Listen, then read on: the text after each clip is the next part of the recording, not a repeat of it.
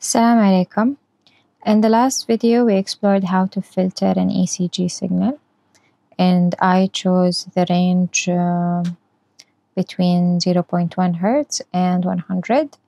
Now I'm going to make uh, a custom made function for calculating the SNR. In this function, what I do first is I extract the noise from the bands that are outside the ranges I am considering. So if I'm considering 0.1 to 100, I'm going to take the noise from 0 to 0.09. I started here uh, from 0.01 because uh, to avoid the uh, an error for singularity of matrices. And then the range in, ends with 0.09, so this is for the low frequency. So I'm taking the noise from before my range started. And then uh, here I will divide by uh, fs over 2 to normalize. And then I feed this to the Butterworth filter uh, of order 2. Here is the order. I'm going to give it the range and then I'm going to tell it this is a band pass. And so the noise will be I'm going to take my input and uh, filter uh, filter my input to take uh, the power of the signal in this range. So it will only pass this range. And I'm considering that this range is noise. Okay, then I'm going to do the same thing for high frequency. I'm going to pass only what I consider as noise and then this is I will call it noise 2 so I'm only I'm filtering my input to extract just the noise.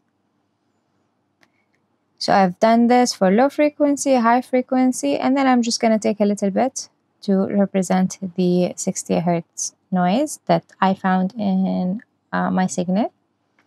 I'm going to take that between 59.99 and 60.01 so now I have ex extracted um, noise from those three bands that I think are causing me noise. And then I'm going to add them together.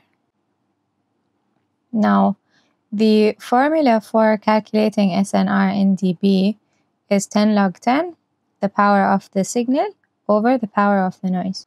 So here we do this, we get the average signal power by squaring the input and dividing by the length of the signal and here the average noise power by squaring the noise that we found which is this in the different bands and then div dividing by the length of the uh, noise signal.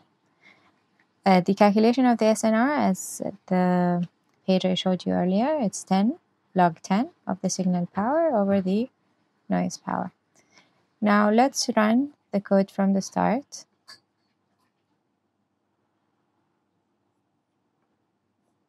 And look, I got my different SNRs. So before uh, or after removing the DC, this is the SNR. And then after the high pass filter, after the low pass filter, and after the notch, the notch filter. This is how I'm calling my custom um, function. So the function will always be at the end of the file or in a separate uh, file inside the MATLAB folder. So then I'm calculating the SNR by passing it the signal that is my input and then the sampling frequency. Here, the input and the sampling frequency. And then it's going to output for me the SNR value. You can edit the ranges based on uh, whatever ranges you consider ECG, all of the other bands will be noise. I hope that this is clear. If you have any questions, let me know.